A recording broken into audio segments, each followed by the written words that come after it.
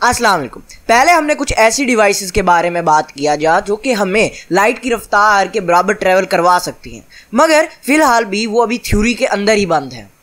आज हम बात करने जा रहे हैं कुछ नेचुरल चीज़ों की, जो शायद हमें रोशनी की रफ्तार से या फिर उससे भी ज़्यादा से ट्रैवल करवा सके।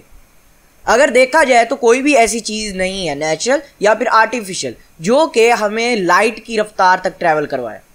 या फिर हम ये भी कह सकते हैं, कोई ऐसी चीज़ नहीं है जो कि प्रूव हो चुकी हो।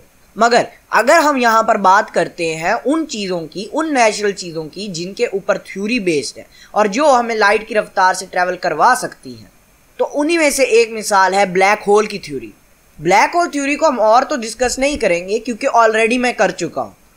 और वीडियो को कंटिन्यू करने से पहले पहले आप वो वीडियो देख कर आए।